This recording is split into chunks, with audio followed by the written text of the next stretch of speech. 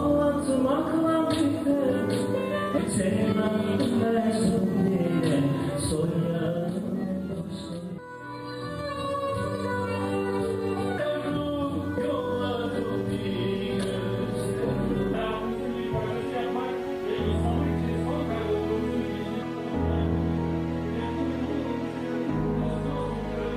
büyük işler başaracağımıza inanıyorum. Bunun için 2019-2020 yılının başta Recep Tayyip Erdoğan Üniversitesi öğrencileri, akademisyenleri olmak üzere bütün yüksek öğretim kurumlarımıza hayırlı olmasını Cenab-ı Hak'tan diliyorum. Hepinizi saygıyla, sevgiyle selamlıyorum.